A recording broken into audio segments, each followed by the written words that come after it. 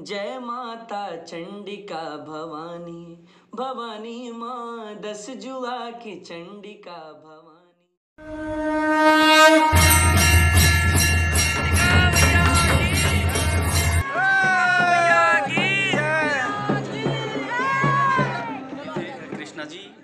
जिन्होंने यहाँ पे इतना भव्य और दिव्य आयोजन कराया, और हमारे बीच में सौरभ मैठाणी जी भी हैं, जो कि हमारे उत्तराखंड के युवा गायक और जिनको आप अनेक कैसेटों में, अनेक गीतों में आपने देखा होगा, इनको ज़्यादातर ये देवीय गीत ज़्यादातर गाते हैं। उन्हीं गीतों के माध्यम से इनको आशीर्वाद मिला है।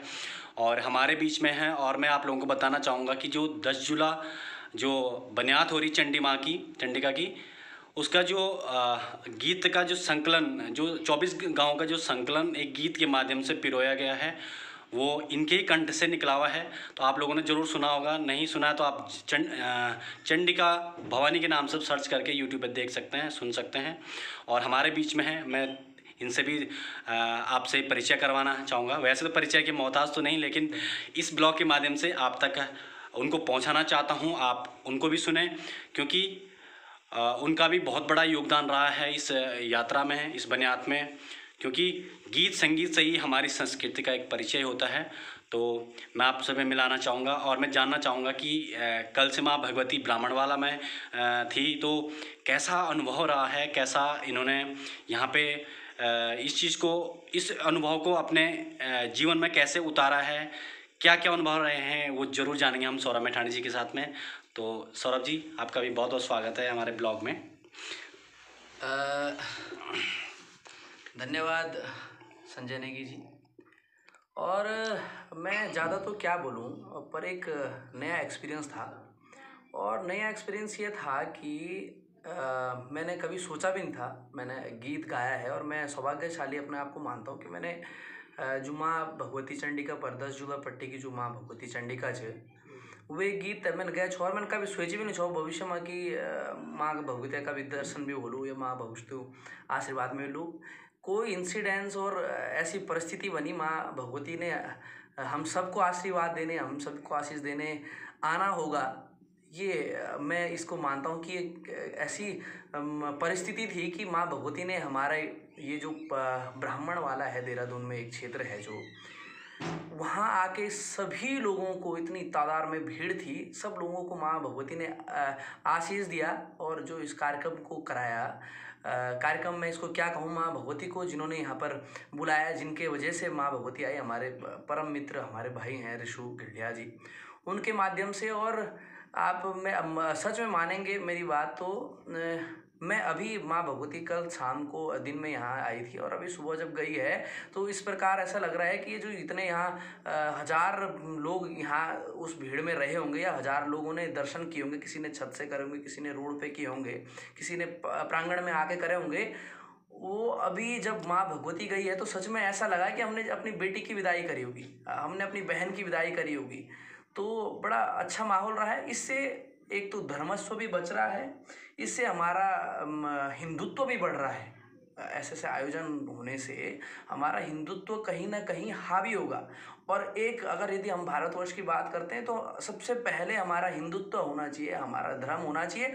और अब हम अगर अपने राज्य की बात करते हैं, उत्तराखंड की तो हमारा उत्तराखंड जाना ही देवभूमि से जाता है। हमें अपने देव देवभूमि, अब मैं संस्कृति जगत में कार्य कर रहा हूँ, या दूसरे जो धर्मस्व जगत में कार्य कर रहे हैं उनके लिए तो वो संस्कृति से रूबरू होते रहते हैं।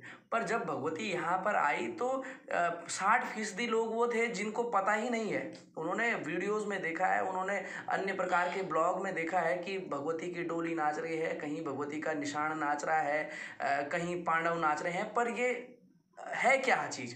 अभी भी जिन बच्चों ने यहाँ पर देखा होगा, जिनकी पाँच से और पंद्रह बीस की उम्र होगी, वो अपने माता पिता अपने दादा दादी से चर्चा करेंगे घर में कि मम्मी जो कार्यक्रम हुआ था फ़ंक्शन हुआ था, वो डोली नाच रही थी, वो क्या है, कैसे तो उससे उनके माता पिता का भी ज्ञान बढ़ेगा और जो जनरेशन आने वाली है, उसको भी अपने धर्म के बारे में पता चलेगा। क्योंकि इस टाइम सब लोग अपनी पढ़ाई में, अपने काम धामों में ऐसे व्यस्त हैं कि धर्म, संस्कृति, संस्कारों के लिए सब हर इंसान पे समय नहीं है। तो मेरा मानना यह है ये बड़ा अच्छा अतुलनीय कार्य हमारे मोहल्ले में हुआ है। माँ भगवती ने हम सभी को दर्शन दिए हैं और इस ब्लॉग के माध्यम से आप सभी से भी आग्रह करूँगा जो जो देख रहे हैं कि मई लास्ट में वीक में और जनवरी फ़र्स्ट वीक में बन्यात जून जून फ़र्स्ट वीक में दस जुला पट्टी में बहुत बड़ी बन्यात है जिसमें सैकड़ों लोग आते हैं हज़ारों लोग आते हैं लाखों लोग आते हैं और माँ भगवती का दर्शन पाते हैं।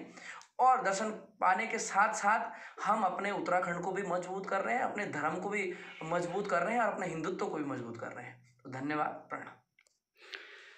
तो ये थे सौरभ जी और सौरभ जी हम आपसे हाँ ज़रूर। जो भजन इन्होंने गाया था तो उसकी दो लाइनें ज़रूर अगर आपको याद होंगी तो वैसे तो याद होंगी पक्का क्योंकि इतना मीठा आपने गाया था और वो मीठी चीज़ कहाँ वैसे जाती। तो दो लाइनें ज़रूर हम सुनना चाहेंगे इनसे। अ, मैं वो गीत भी आपको सुनाता हूँ वो भजन। और वो बड़ा मेरे लिए नया एक्सपीरियंस भी था। वो हमारे संजय भाई लोगों ने और समिति के लोगों ने ही हेल्प करके लिखा था संजू भाई ने। तो उस गीत में ये था कि हमने पच्चीस से पैंतीस गाँवों गाँव, के चौबीस गाँवों के हमने उसमें नाम लिए थे। तो किस प्रकार से वो गीत था जितना मुझे आता है मैं जय जय माता चंडिका भवानी भवानी माँ दस जुआ की चंडिका भवानी भवानी माँ जय माता चंडिका भवानी भवानी माँ दस जुआ की चंडिका भवानी।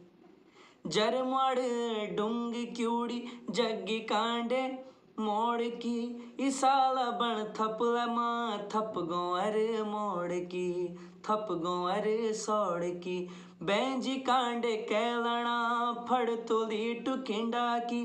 तलगढ़ क्यूड़ी बांजी आगर को खंडी की, आगर को खंडी की। हे माता, तेरू आशीष, भवानी माँ, दस जुला की चंडिका भवानी। भवानी माँ, दर्शन दी जाहे मेरी माँ जी भवानी माँ, चंडिका भवानी मेरी माँ जी भवानी माँ। बोले चंडिका मैया की जय। तो ये थे हमारे बीच में सौरभ मैठाणी जी और कृष्णा घड़ियाल जी। पुनः आप लोगों का भी बहुत बहुत धन्यवाद। आपने इस दिव्य जो आयोजन में जो चार चाँद लगाए हैं मैं चाहूँगा कि माँ भगवती का आशीर्वाद आज तक जो बने रहें और भविष्य में इस तरह के आयोजन भविष्य में इस तरह के आयोजन होते रहें। और आ, मैं चाहता हूँ कि आप लोग बनियाद में ज़रूर आप आमंत्रित हैं और माँ ने चाहा तो हम एक भव्य और दिव्य कार्यक्रम भी वहाँ पे करेंगे और अभी से ही आप लोग आमंत्रित हैं ठीक है ना?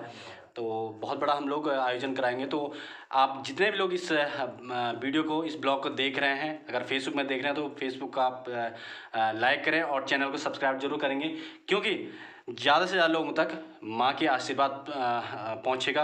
ज़्यादा से ज़्यादा लोगों तक ये वीडियो पहुँचेगा। तो हमारी जो चंडिका माता है दस जुला की, उसकी दिव्य दर्शन ज़्यादा से ज़्यादा लोग कर पाएँगे। तो आप सभी लोग आमंत्रित हैं मई लास्ट और जून फ़र्स्ट में, महड़ गाँव, महड़ दस जुला गाँव में।